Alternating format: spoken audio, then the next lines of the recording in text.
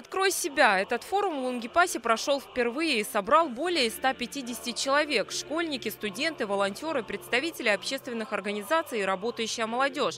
В течение двух дней инициативные жители нашего города Югры делятся секретами того, как развить идею до успешного проекта и получить грантовую поддержку. Побывал на форуме и глава города Сергей Горобченко пришел, чтобы пообщаться с молодежью. В Лангепасе э, много э, создавалось, э, создается и будет создаваться очень много проектов, которыми мы можем гордиться. Наша молодежь, наши сотрудники, которые вовлечены в целом в систему патриотики, в систему молодежи, достаточно проделывают огромную работу. И те проекты, которые сегодня реализуются на площадках города, на площадках э, нашего субъекта, ими можно гордиться. Это большая, огромная потенциальная работа. Форум – это возможность заявить о себе и обменяться опытом. Одно из его направлений – молодежь «Вызов времени». Мы культивируем такое понятие, как цифровая гигиена. Это правило работы в социальных сетях. Мы работаем по профилактике. А, ребята сами создают молодежный контент, условно та самая памятка, которую никто никогда не читает. Они ее переработают в удобный для себя формат. А мы сейчас пришли к тому, что это ролики в формате ТикТока, 30-секундные, в которых ребята рассказывают о серьезных проблемах, а, но уже на своем молодежном и интересном языке. Такой формат разработки новых проектов организаторы выбрали не случайно. В Лангепасе очень много активных и инициативных людей. За значимую общественную деятельность отмечены семь человек перед молодежью города сегодня действительно открываются огромные перспективы по выбору профессии, по определению своего дальнейшего пути, по определению интересов, да, которые будут сопровождать молодежь на протяжении всей ее жизни. И наша с вами задача дать этот спектр возможностей, показать, где и в каких вариантах, о проектах наша молодежь могла бы принять участие. И сегодня в рамках работы форума будут работать несколько секций, которые как раз и помогут нашей молодежи молодежи определить их э, предпочтения.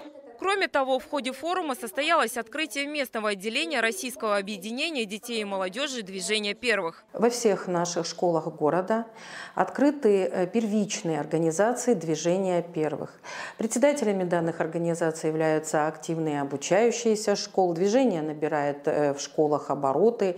Ребята активно участвуют э, во всех общественной жизни, не только школы, но и города, проводят акции. Кроме того, у нас во всех общеобразовательных учреждениях э, с 1 сентября 2022 года введены советники директоров э, по э, воспитательной работе.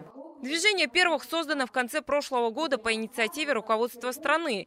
Цель – воспитание организация досуга подростков и формирование мировоззрения на основе традиционных российских духовных и нравственных ценностей. Отделения должны открыться в каждом городе. Лангепас выполнил задачу. Сегодня формируется окружная команда из 77 человек. Из этих 77 человек, три человека выделено три ставки на город Лангепас. А на нашу территорию дали квоту три человека. На нее у нас 7 человек было зарегистрировано, подали свои анкеты и заявки, но э, округ остановился на трех кандидатурах, и сегодня они прошли тестирование.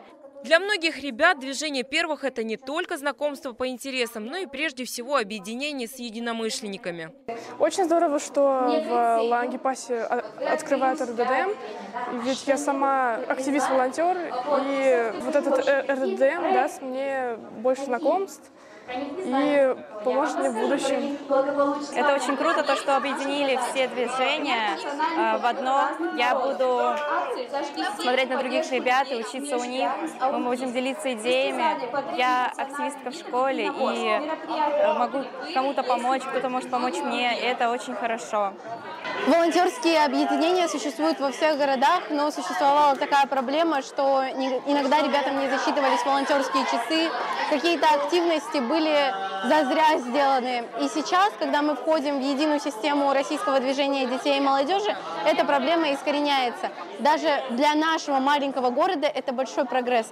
Течение двух дней на базе центра «Фортуна» работали шесть площадок, на которых школьники, студенты, работающая молодежь получили неоценимые знания в области инновационного бюджетирования, командообразования и самоопределения. Направление молодежной политики нацелено на регулярное проведение подобных форумов. Сара Тураева, Тимур Зигангиров. Наши города.